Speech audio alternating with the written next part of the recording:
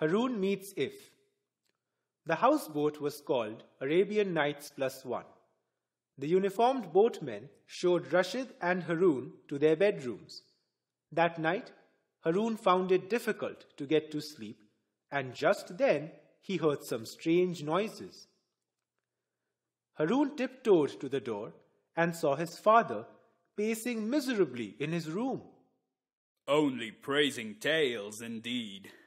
I'm the ocean of notions, not some office boy for them to boss about. I'll go into retirement, cancel my subscription, because the magic's gone ever since she left. It seemed that both father and son were unable to sleep because of their new beds, so Haroun and Rashid exchanged bedrooms. Haroun had almost gone to sleep when he heard some sound and tiptoed towards the bathroom. A strange figure was standing in the bathroom, and he was mumbling and grumbling. To his shock and surprise, Haroun discovered that it was a small genie, no bigger than himself. From his mumbling, Haroun understood that the genie had come to disconnect Rashid's story water connection using a special monkey wrench.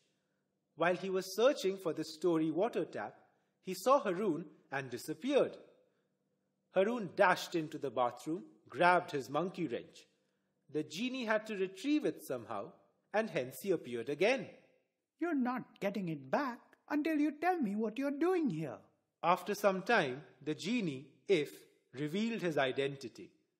Haroun was surprised to know that he was the supplier of story water from the great story sea. Please return my tool.